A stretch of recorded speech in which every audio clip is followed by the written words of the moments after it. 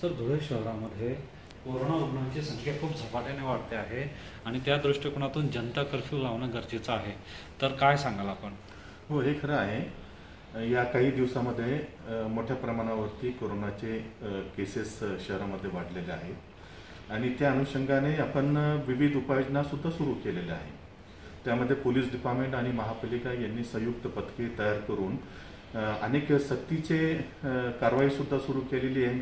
उदाहरणार्थ दंडात्मक कारवाई किंवा इतर सुद्धा अनेक कारवाई आपण सुरू केलेल्या आहे. त्याच वेळेला इतर ज्या उपाययोजना आहे म्हणजे आपलं सी सी सी सेंटर आहे D C C C centre आहे ते सुद्धा आपण कार्यान्वित केलेलं आहे. परंतु हे करून सुद्धा अनेक केसेस वाढत आहे ही फॅक्ट आहे.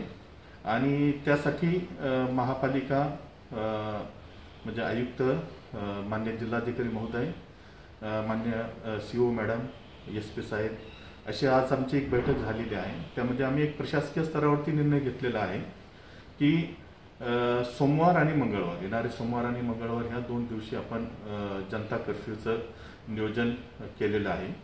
त्यासाठी शहरातील जे लोकप्रतिनिधी आहे त्यांच्याशी सुद्धा आम्ही चर्चा करून तो ऑलमोस्ट फायनल केलेला आहे. आणि त्याप्रमाणे जनता कर्फ्यूचं सुद्धा नियोजन आम्ही करून याला म्हणजे नियंत्रणामध्ये आणण्यासाठी प्रयत्न करतो.